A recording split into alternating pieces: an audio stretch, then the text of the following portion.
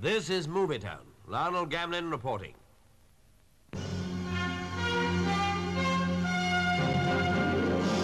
During his state visit to Athens, Dr. Adenauer, the West German Chancellor, was received by King Paul of Greece.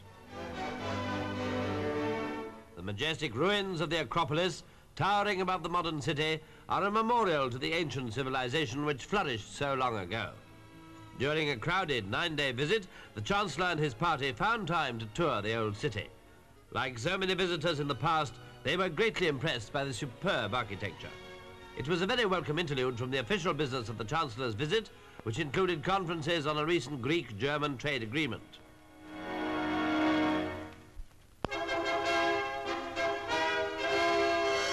Mr.